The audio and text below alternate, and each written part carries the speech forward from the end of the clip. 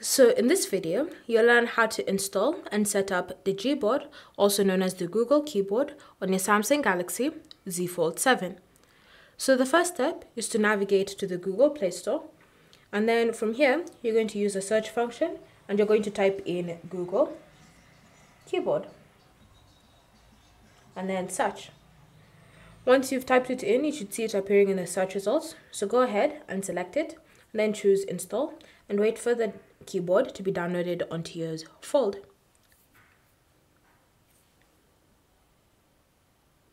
Once it's been downloaded, you can then tap on open to launch it, or you can just navigate back to the home screen or apps drawer, look for it from there and tap on it to launch it. From here, you can then need to enable it. Now you can choose to just tap on this option or you can navigate all the way to settings to enable it from there.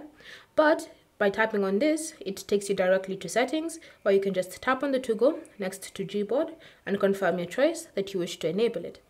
Once it's been enabled, you can then tap on the back button and then you'll need to set it as your default keyboard.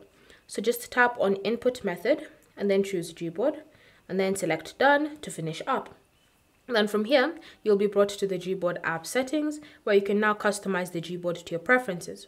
If you're ready to now use the Gboard on your Z Fold 7, you can just go ahead and bring up the keyboard on your phone, and then you should see your Gboard ready for you to use on your Galaxy Z Fold 7.